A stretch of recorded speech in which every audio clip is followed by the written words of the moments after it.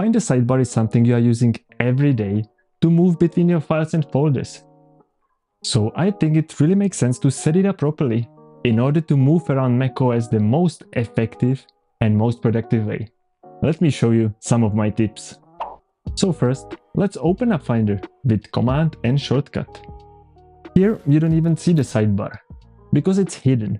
Maybe you don't see it on your Mac. In that case, go to View menu and select Show Sidebar. But here I'm getting straight away to the first tip, and that is the fact that you can hide your sidebar. You can do it with one click. The shortcut is Ctrl Command S. And thanks to that, you can get a lot more space for the content in the Finder window. It's particularly useful if you want to see larger previews of your images. But now let's bring it back and have a look at the favorite section. This whole section can be manually managed, but the basic settings are found under Finder settings here on the sidebar tab. As you can see, I always like to untick the first two items, Recents and AirDrop. These two are actually active by default, and according to me, they are both useless. Maybe you have different opinion on that, so you can share it with me in the comments below. But I am not using them, so I always untick it. First, Recents is not even a location on your computer. It's just a list of your recently opened documents or anything else. And the airdrop, well, that can be accessed in a million different ways around macOS. So I really don't need these two items taking space in the Finder sidebar. But you don't always need to go into these settings. You can easily remove the folders manually there. So simply right click it and select remove or just drag it away from the sidebar. When I dragged it away, it also unticked it here in the settings. It's so simple, so you can anytime tick it on again and bring it back. So the main tip here is to simplify the things. Remove all the folders you are currently not using. You can even untick all of this and remove the whole section. For example, if you are not using iCloud, you can untick it here and the whole section will disappear, giving you more space. We will be further on in this video adding a lot more our own folders, files or even applications in the sidebar, so it makes sense to first clean it up. I am actually using iCloud, so I will leave it there. But for example, I'm not using any connected servers. So I can untick these two items there and the whole section will disappear. I will still keep all of these external hard drives ticked on, so the section will reappear again if I connect any external storage. But for now, it will not be taking any space. Now, after we have cleaned all the unnecessary items, it's time to add our own folders. If you have any folder you are using very often, simply drag and drop it into your Finder sidebar. Just make sure you nicely fit it in between the folders which are already there, so you don't just drop it into one of these folders.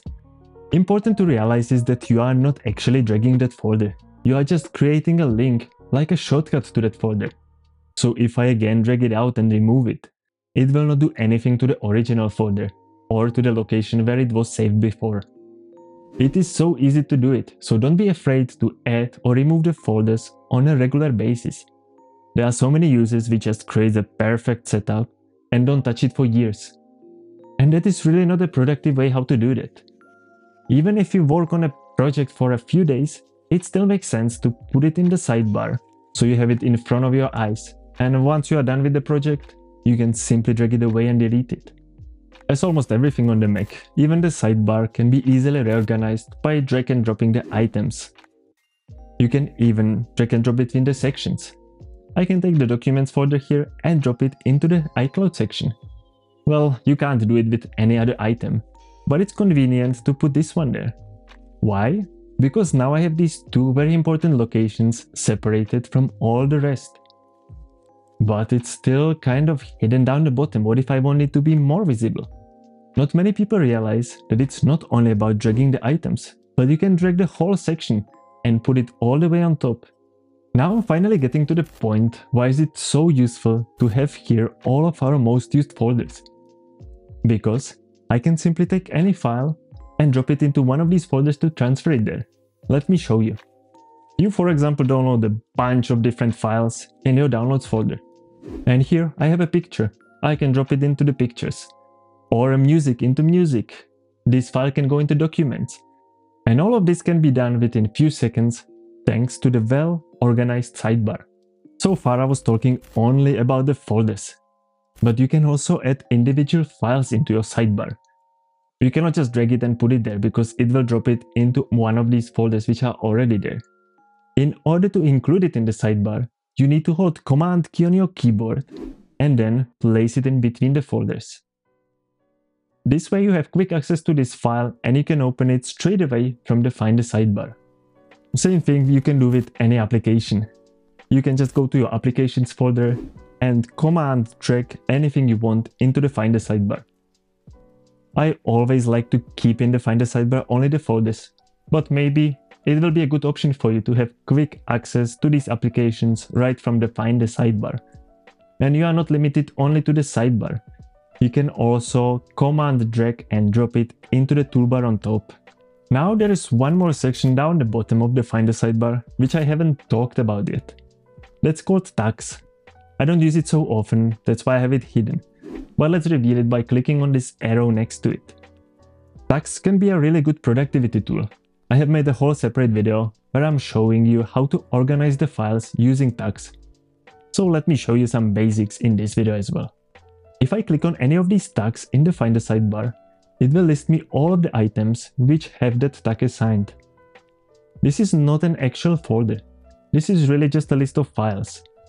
So it can be very useful into separating different files into different projects without actually physically moving them from different folders and copying them. So I can now select any file, right click it, select the tag, and it will automatically include it in the list. If I click on the tag again, you can see that the new file is here already. In the beginning of the video, we have removed the recents folder. And that's because it can be replaced with some more specific saved search it's also called smart folders. Again, I have made a separate video about smart folders, so if you want to know everything about it, go to that video. But here, we can just go quickly through it.